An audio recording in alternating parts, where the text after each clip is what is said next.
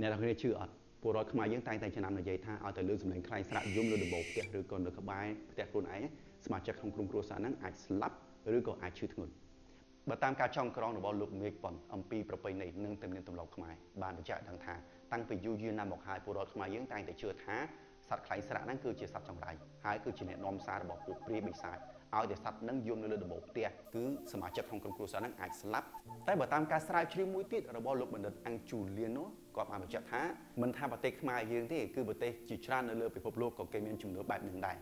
តែបើតាមឯកសារមួយទៀតរបស់លោកស៊ុយសេងលីនដែលគាត់ជាស្ថាបនិកនៃគម្រោងអប់រំហើយនិងការអភិរក្សសត្វស្លាបនៅកម្ពុជាលោកបានលើកឡើងថាការយំរបស់សត្វមួយនេះគឺមកពីមូលហេតុ3យ៉ាងគឺដោយសារតែវាចង់បង្កប្រកាសប្រាប់សត្វដទៃដទៃទៀតថាកន្លែងនេះគឺជាទឹកដីរបស់វា វាចង់ស្វែងរកដៃគូស្នេហារបស់វាដូចមនុស្សយើងអញ្ចឹងគឺមានក្តីស្រឡាញ់ដូចគ្នាឯទី3នោះវិញគឺគ្រាន់តែជាចម្រៀងច្រៀងលេងកម្សាន្តរបស់វាតែប៉ុណ្ណោះលោកស៊ុយសេងលឹមក៏បានបញ្ជាក់ឡើងវិញម្ដងទៀតថាសត្វប្រភេទនេះគឺជាសត្វមួយដែលស្លូតបូតហើយវាចូលចិត្តរស់នៅក្បែរមនុស្សបំផុតហើយសត្វនេះវាចូលចិត្តច្រៀងគឺជាបែបធម្មជាតិរបស់វានោះទេហើយនៅពេលដែលវាស្រែកយំឬក៏ច្រៀងហ្នឹងស្របពេលដែលមានមនុស្សឈឺឬក៏មនុស្សស្លាប់ហ្នឹងវាគឺជាភាពចៃដន្យតែប៉ុណ្ណោះ